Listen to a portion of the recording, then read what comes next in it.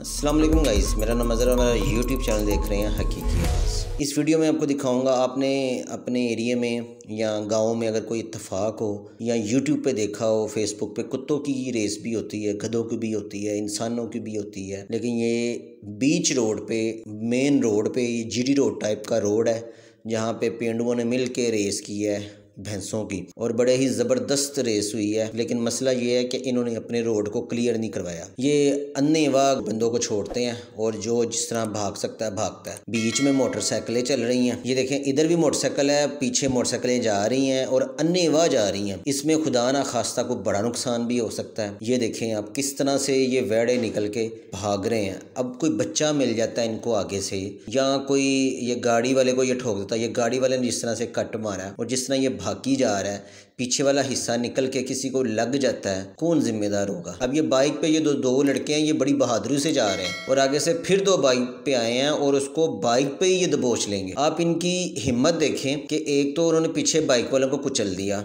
दूसरे नंबर पर वो बड़ी स्पीड से भाग रहे हैं और आगे आके वो इसको रोक भी लेते हैं। अब वेड़ा थोड़ा सा राइट साइड पे या लेफ़्ट साइड पे टक्कर मारे ना तो उनकी टांगे या बाजू एक आधी तो खिसक ही जाए। लेकिन क्या करें? कहते हैं ना, शौक का कोई मोल नहीं होता। तो इन लोगों के लिए जो है ना, वो सही कहावत बनी है, शौक का कोई मोल नहीं होता। गाइज़ वीडियो पसंद आए तो चैनल को सब्सक्राइब कीजिएगा, वीडियो को लाइक कीजिएगा शेयर कीजिएगा।